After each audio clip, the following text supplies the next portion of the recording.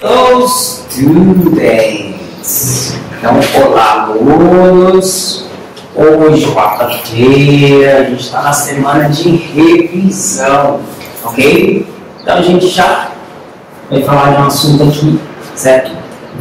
É, um assunto que a gente já viu, mas voltado para a semana que vem, referente ao nosso trabalho parcial, ok? Então, essa semana é de review, que quer dizer revisão, ok? Então, como vocês já receberam aí, certo, da direção da escola, as páginas referentes à nossa revisão, vocês vão precisar se preparar, são da 23, 24, aí viajar, vão pular lá para 78 e 79, certo?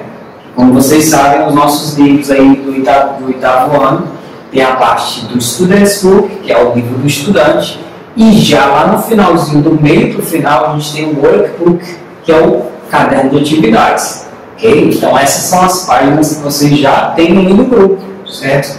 Que a direção já enviou para vocês. Ok? Então, lembrando mais uma vez que se vocês estiverem vendo esse vídeo pela manhã, good morning. Se estiverem vendo pela tarde, good afternoon. E se estiverem vendo só à noite, good evening. Não deixem de assistir, certo? É importante para vocês.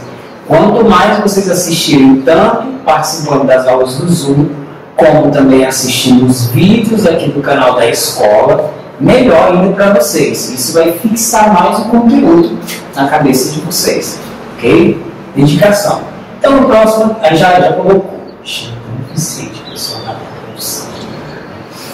Então, aqui, ó, a gente vai falar de irregular verbs. A gente tem os verbos regulares e os verbos irregulares, ok? Lembrando para você que não tem aqui nesse conteúdo os verbos regulares. Sim, professor, por que, que não tem? Porque os verbos regulares já são simples, ok? São aqueles que terminam com D ou ED, ok? No final do verbo. Então, elas são previsíveis, certo? Já é uma regra universal. Por que eu coloquei só irregulares aqui? Porque eles são os diferentões. Quando eles passam para o passado, eles mudam completamente. E é aí que eu entro com a, com a realidade para vocês de que vocês precisam decorar. O lado bom dos verbos regulares, como eu já tinha falado em aulas anteriores, é porque eles são em maioria, né? E aqui dos verbos irregulares, eles apesar de serem minorias, certo? Eles precisam ser decorados, eles precisam ser estimulados. Você precisa treinar eles, ok? Para que você possa ganhar aquela afinidade com esses verbos, certo?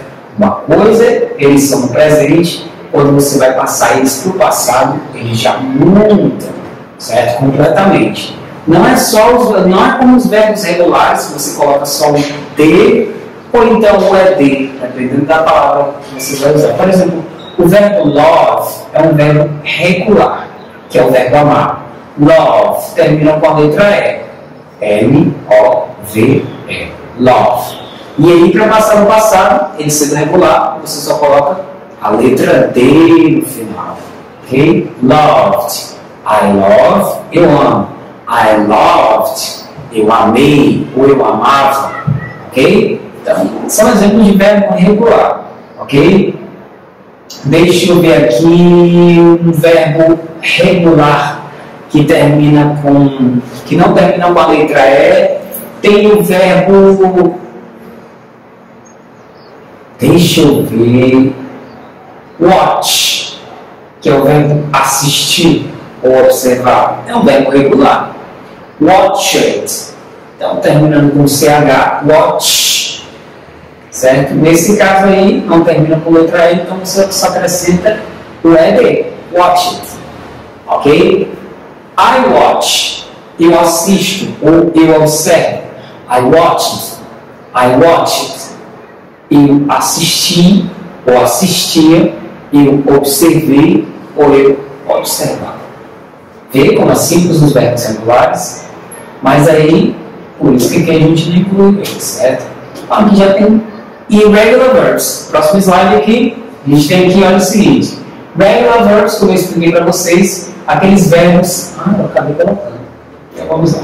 Those verbs that form their past, past participles with T or ET are regular verbs. Então, são os verbos que são terminados com D ou ED, certo? Que são em maioria, certo? Que você só acrescenta. Accept, aceitar, accepted, aceitar, aceitou, ou aceitar. E aqui, accepted, aceitado. Ok? Achieve, alcançar. Achieved, alcançar, alcançou. Achieved, do mesmo jeito, alcançado add, que é de adicionar ou aderir, added, que é adicionou ou aderiu. Added, adicionado. Ok? Admire, admirar. Admired, admirou. Admired, admired. Faltou um T aqui. Foi só um pouquinho de digitação, certo? Mas segue essa mesma, esse mesmo raciocínio aqui, certo? Admired, admirado. Ok? Próximo slide. A gente já tem os irregular verbs, certo? A gente lá diz que irregular verb não segue, certo? As mudanças substanciais deles quando mudam as formas deles entre os passados, certo? Então, ele, essa mudança, essas formas mudadas desses verbos são frequentemente diferentes das originais.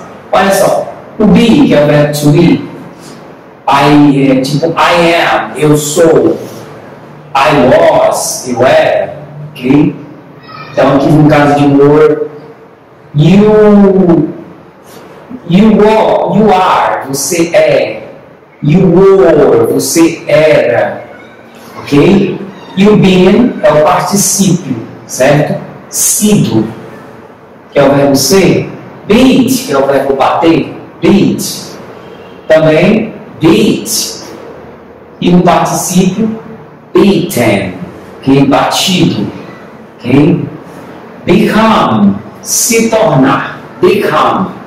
Ok? Became, se tornou. Become, é, tornado. Não é tornado de tornado, certo? De se tornar. De é, tem se tornado. Ok? Begin, começar.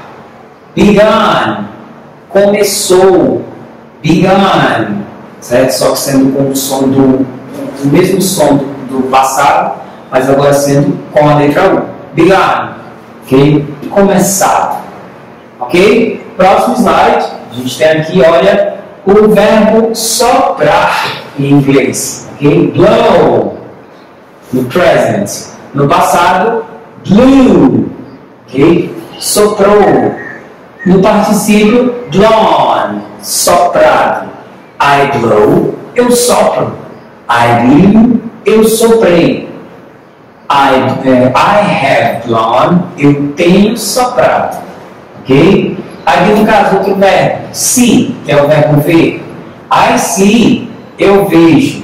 I see many stars in the skies at night. Eu vejo muitas estrelas no, no, no céu à noite. Sol, I saw, eu vi. We saw this film last week. Nós vimos esse filme semana passada, ok? Sim, que é o participio, sim, vi, visto, ok? Sim, he has already seen his friend today. Ele tem, ele já tem visto o amigo dele hoje, ok? Sim. Próximo slide, a gente tem aqui, olha, o verbo eat, que é o verbo comer. I eat, eu como. I ate, eu comi, ok? Come, que é o verbo vir. Come, I come, eu venho. I came, eu vim, ok? Eu vim. Have, que é o verbo ter ou possuir. I have, eu tenho.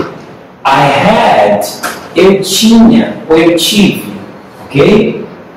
Do, que é o verbo fazer. I do, eu faço. I did, eu fiz. Ok?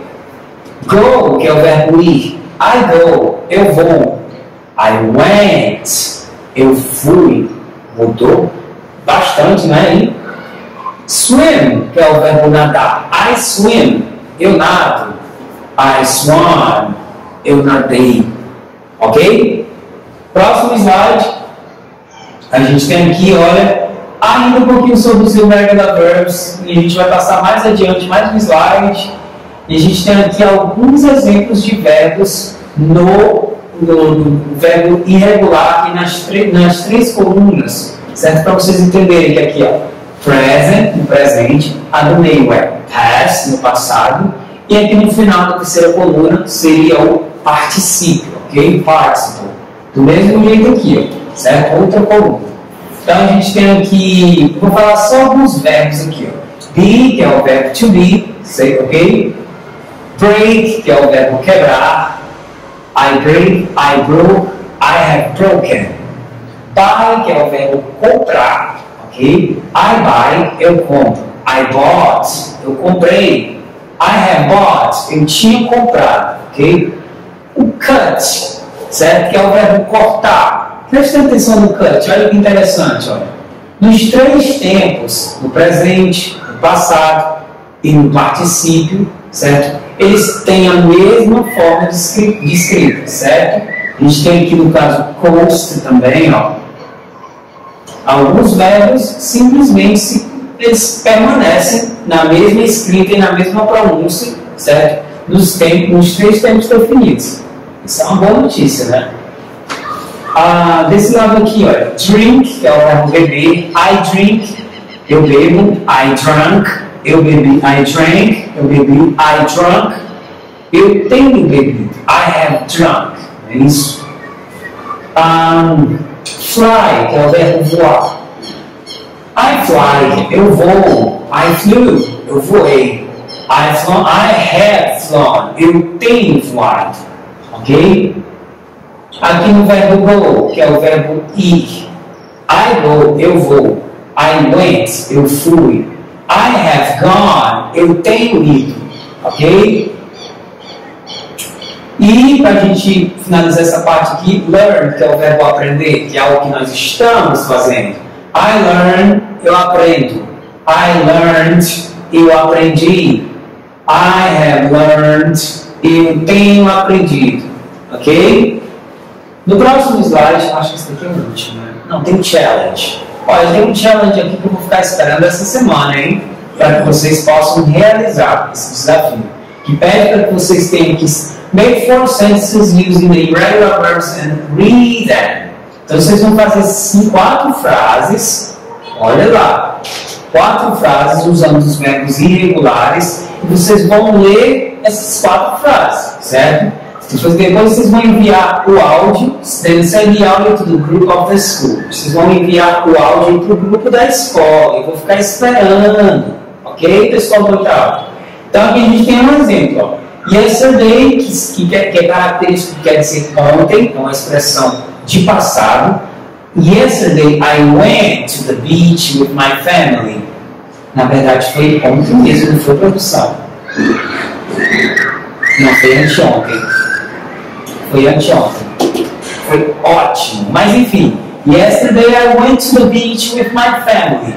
Ontem eu fui, que é o verbo go, para a praia com minha família. Ok? Essas são um exemplo de uma das frases que vocês podem é, é, mandar mandar quatro frases usando verbos regulares. Não pode ser verbo regular, o mesmo verbo nas quatro frases em situações diferentes, não.